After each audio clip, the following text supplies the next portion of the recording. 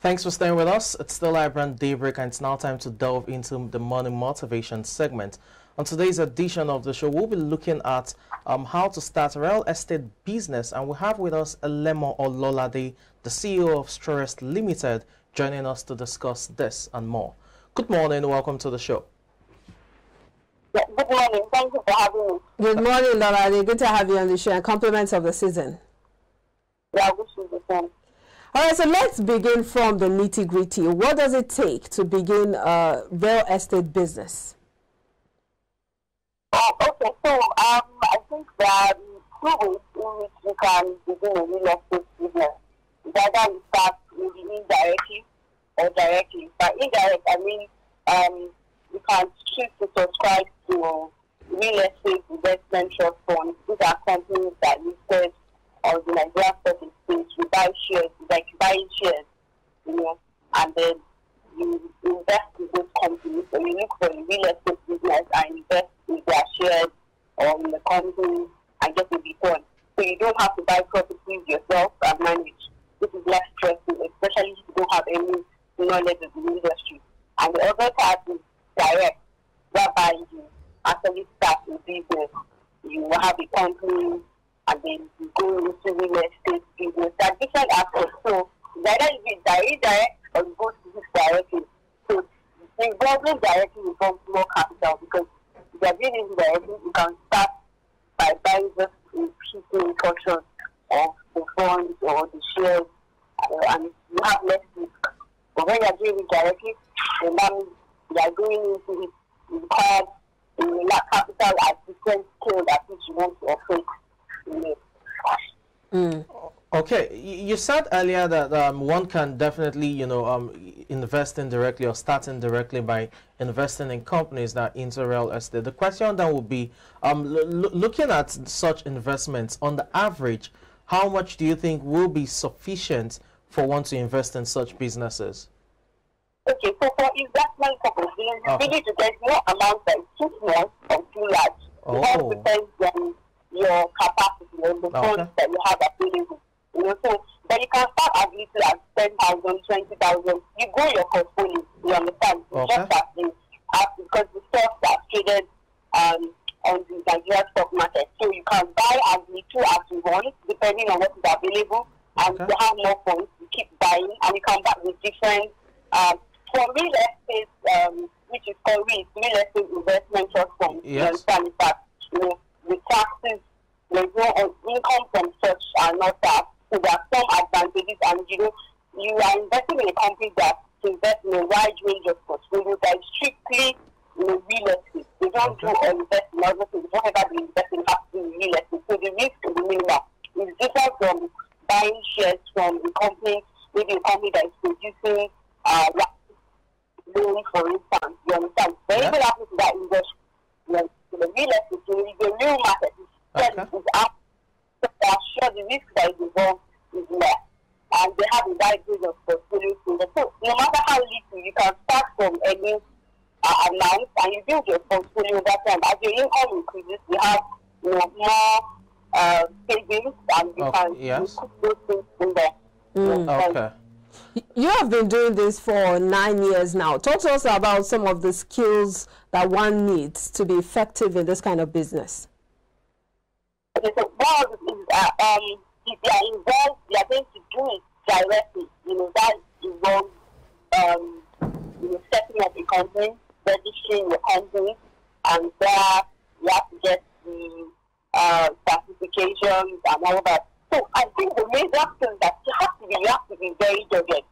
Mm. Because real estate, if you are building a house, for instance, if you want to build a duplex, you are going to be working with quite a large number of people. You have the artisans, you have the masons, you have the carpenters, you have the iron benders, you have so many people. So you have to be able to coordinate very well. And you also have to work with professionals. So one of the issues that people have, you really do not have to have a full knowledge of the technical details. But you must make sure that you work with the professionals that are technical. Your structural engineer, your architect, your, you must you just you know, you don't just get the drawings and you post them up. You have to keep them. You have to um, have a working relationship with them. There are different things. You can have them on payroll, you can have them on contract basis to reduce you know, your cost. Mm. But it's important for somebody that is just like, okay, that's where your cost. So, sorry butt in. I'm wondering how you're able to manage the different artisans that you work with. We know the way artisans can be when it comes to dealing with people and when it comes to, you know, handling different customers. How do you manage them? And what are some of the challenges you've been able to deal with in this business? Okay, so the, the challenge is, you know, unskilled labor are sometimes difficult to manage in the sense that um, we are not dealing with a company that has something to protect. So I think the first is that when you are trying to look for who artisans to work with, it's always better to work with referrals.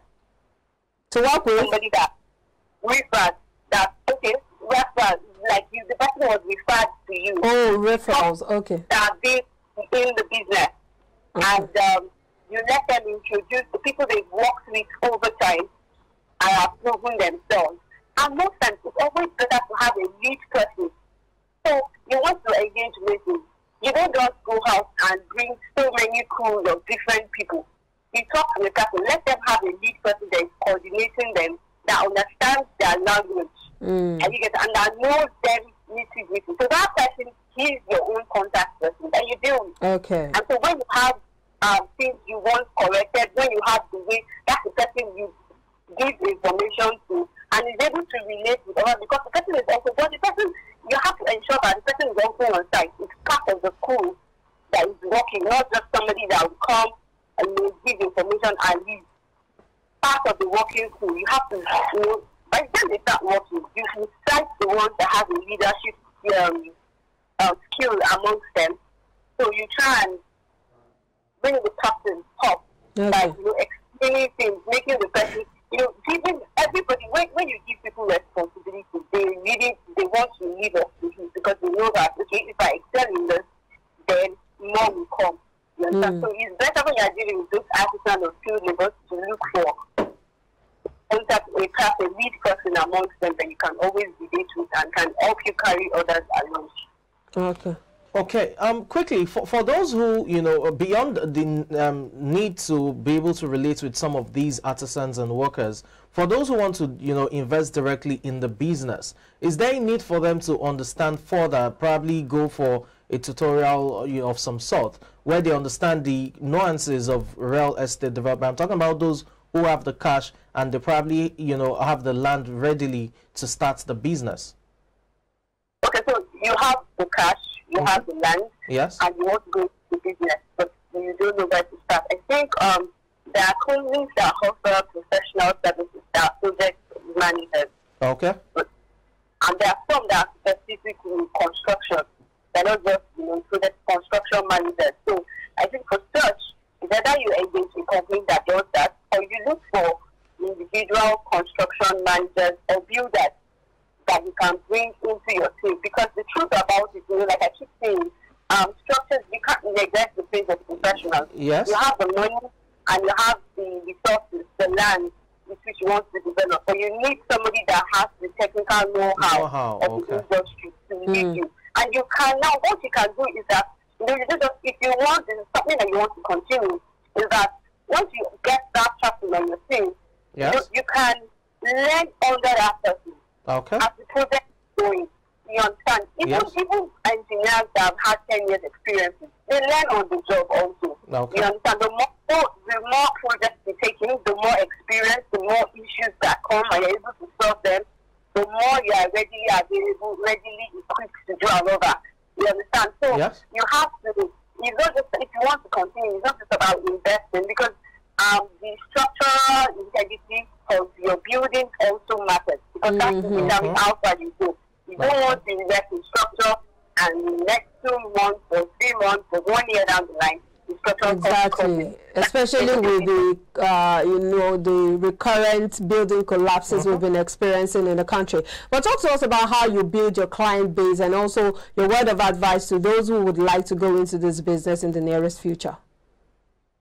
So building your client base, I think first is that when you want to go into such business, look at who are the people that you have access to.